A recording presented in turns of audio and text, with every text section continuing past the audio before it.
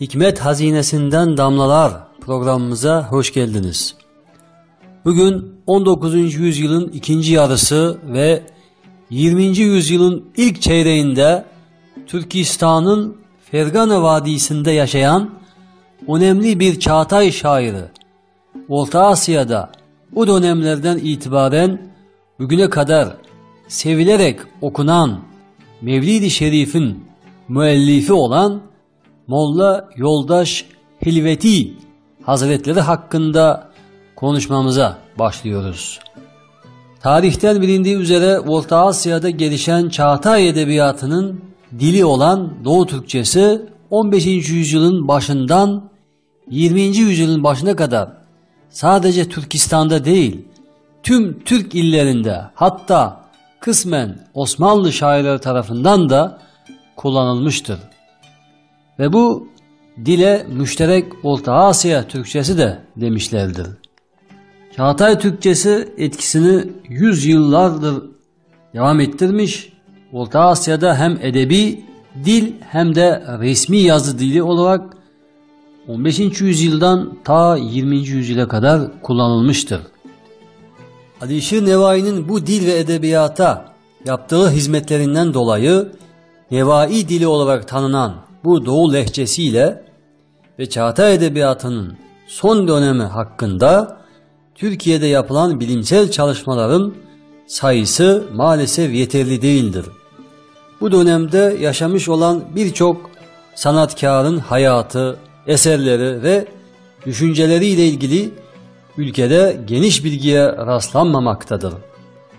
Bu şairlerden biri de Hokant edebi muhitinin çok az bilinen ve önemli bir temsilcisi olan hem de bu çalışmamıza konu olan Fergana Vadisi'nin edebiyat ve kültür hayatında önemli bir yer tutan Nemengallı Molla Yoldaş Hilveti'dir. Hilveti sözcüğü Türkiye Türkçesinde halveti olarak telaffuz edilmektedir. Türk tarihinde halveti mahlasını kullanan birçok aydın şahsiyetler vardır. Örneğin Gülşeni tarikatının büyüklerinden Kuşadalı İbrahim Halveti ve Bosnalı Muhammed Tevfik Halveti, yine Halveti sülükünün büyüklerinden Çelebi Halife Cemal Halveti ve Davud Halveti gibi zatları söyleyebiliriz. Çağatay şairi olan Molla Yoldaş Hilveti'nin eserlerine bakacak olursak hep Hilveti mahlasını kullandığını görüyoruz. Şair kendi mahlasını eserinde şöyle dile getirmektedir.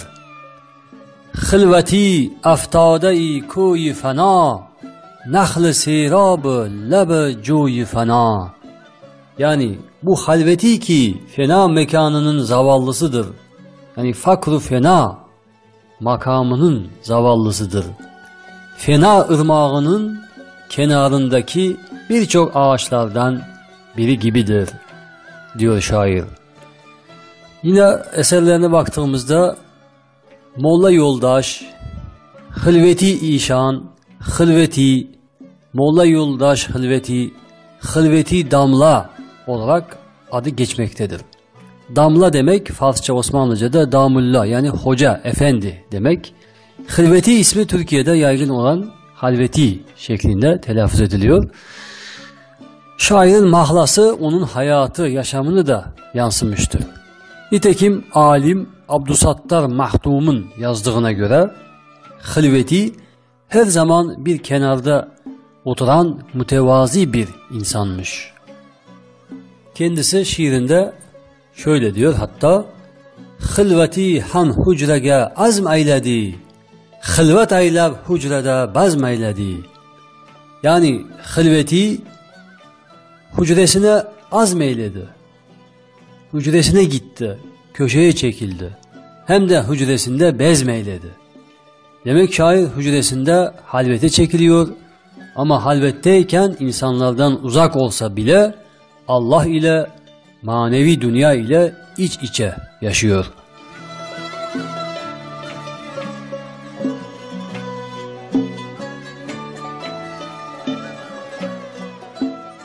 Tarihi, sosyal, kültürel olayların etkisiyle zamanla değişime uğrayan Türkistan topraklarına bağlı olarak Çağatay Edebiyatı da zamanla değişime uğramış ve asırlar boyu çok kıymetli şairler yetiştiren Çağatay Edebiyatı 19. yüzyılın sonunda yerini Özbek edebiyatına bırakmıştır. Bu dönemde Türkistan'ın Hokan muhitinde Furkat, Mukimi, Zevki, Hamza, Tevella gibi birçok önemli şairler yaşamıştır. İşte bu geçiş döneminin yani Çağatay Edebiyatı'ndan Uzbek Edebiyatı'na geçiş döneminin önemli sanatkarlarından biri de Nemengallı Molla Yoldaş Halveti'dir.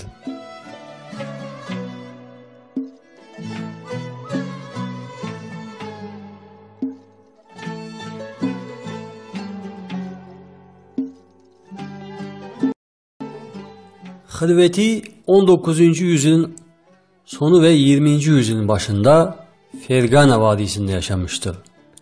Okant edebi muhitinden yer alan Halveti hem Çağatay Türkçesi hem de Farsça'da verimli eserler meydana getirmiştir. Özellikle kaleme aldığı Mevlud eseri yani Peygamber Efendimizin tevellüdü ile ilgili eseri Orta Asya'da çok meşhur olup hala günümüzde bile geniş halk kitlesi tarafından sevilerek Mevlid gecelerinde olsun, diğer dini, tasavvufi ve edebiyat gecelerinde olsun sevilerek merakla okunmaktadır. Eserinde şair halka nasihat ederek şöyle diyor. Örneğin, Bradarlar ölümden ilgari zikri huda denler. Saharlarda okup Kur'an, durudu Mustafa denler.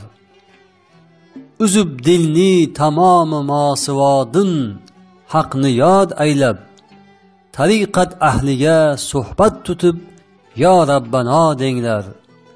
Saadetmend erenler, dillerige yadı hak tolgay.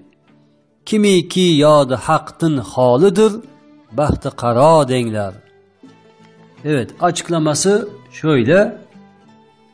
Kardeşlerim ölmeden önce Allah'ı zikrediniz.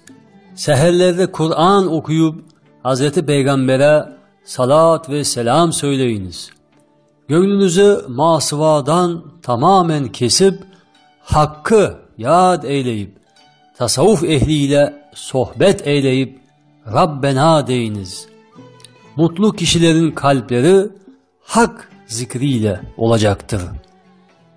Her kim ki Hak Teala'nın zikrinden uzak ise ona bahtı kara deyiniz diyor şair.